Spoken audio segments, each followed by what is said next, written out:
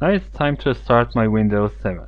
I want to boot into my CD-ROM and you just saw that I want to press any key so that I can boot into my CD-ROM that I have created the boot image in that. And now the Windows is gonna start. It will take a little time before the command prompt is ready for us. But after that I can use the ImageX tool. I'm not sure if ImageX is in my um, system right now. If it is not, I will copy it into this. I want to have a network share and I want to copy everything into that network share after my job is done. So let's do this. I want to share this WinPE image that I have here. Under that you can see that this is the folder. Now let's go to Windows PE image here and R and right click on that and make sure that this is a share go to sharing, go to advanced sharing, share this folder Windows PE image and click on OK and, and make sure that you are allowing change uh, full control is much better so that I can click on OK and I can write the image that they're capturing into this folder. I'm going to use this folder later. So it will take some time before the uh, command prompt is ready. We should wait for that. Now everything is copied into X drive. The X drive is in uh, memory. It is not on hard disk. First of all, make sure that we have our hard disk recognized. DiskPart is the command that I'm going to use. You can see that DiskPart is starting.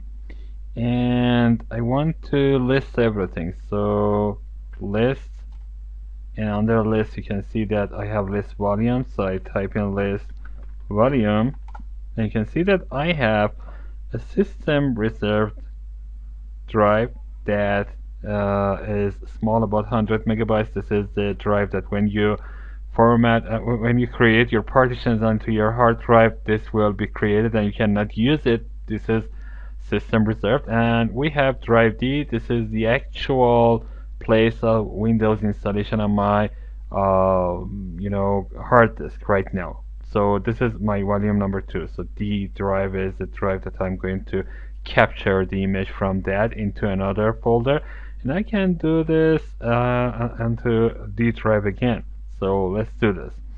I want to uh, exit my DiskPart and here make sure that ImageX is there ImageX command if I hit enter you can see that it tells me ImageX is not recognized imagex.exe no this is not here. I need to copy it from somewhere else to X drive. So to copy this I need to have my uh, interface uh, initialized. So I type ipconfig slash all to see that I have a local area connection here. This means my network interface card is initialized but you can see that I have 169.254 as my IP address. This means that I didn't have assigned uh, I didn't have access to any DHCP server and I haven't assigned a static IP address to this. So I'm going to assign a static address here. Netshell interface is the tool that I'm going to use and I'm going to assign an IPv4 address. So I add an address.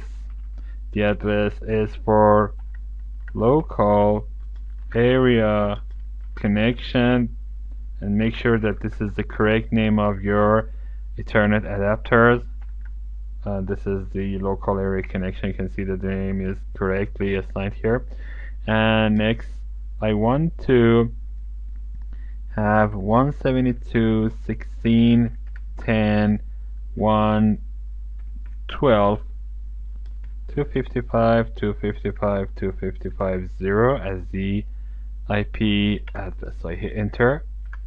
Now if I try to ping 172, 16, 10, 101, you can see that the ping is successful. So it means that I have connectivity to uh, the host computer or other computers in my network.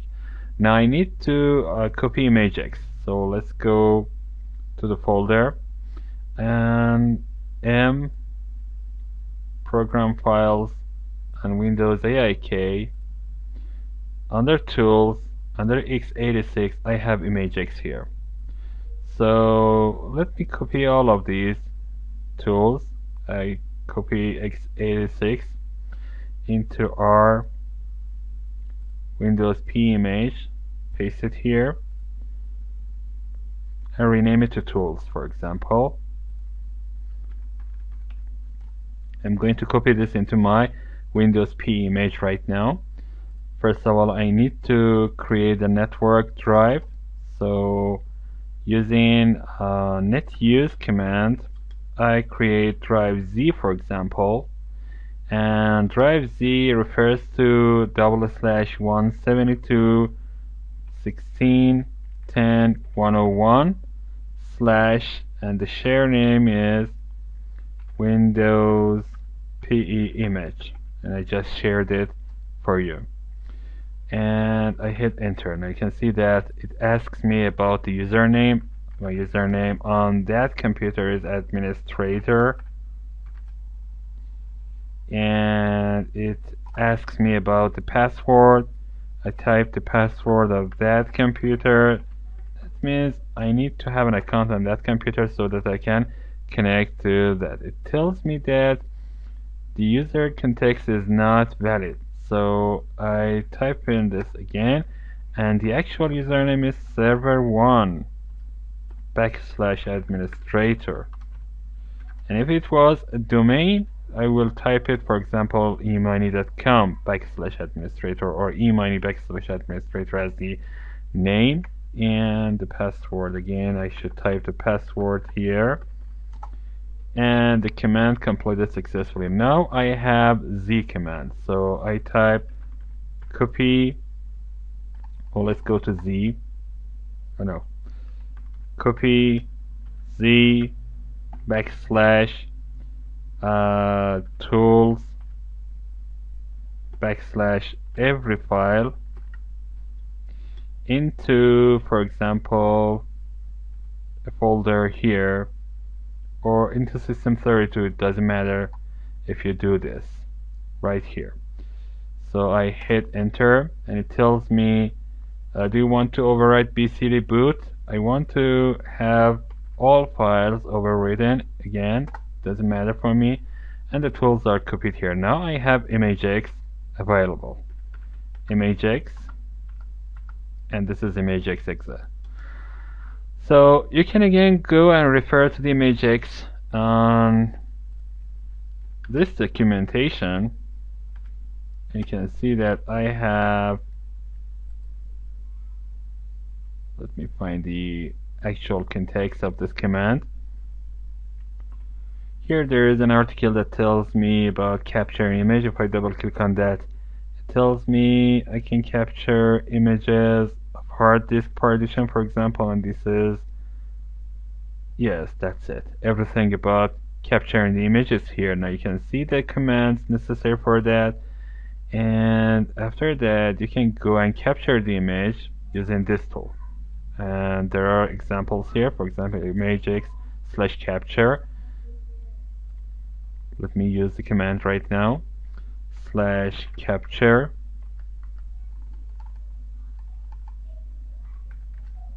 Now I'm capturing drive D because Windows is in this drive.